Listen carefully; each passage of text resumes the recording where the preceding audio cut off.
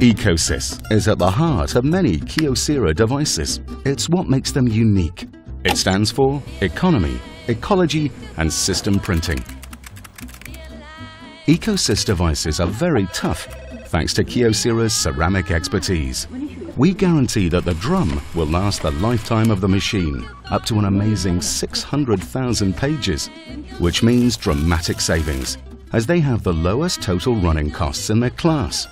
With their low electricity consumption and unique toner-only concept, it produces up to 75% less waste compared to cartridge-based printers. Finally, system printing. Ecosys printers run on one platform and are easily integrated and operated in any network. So, a tough, economic and environmentally friendly printer that's also smart.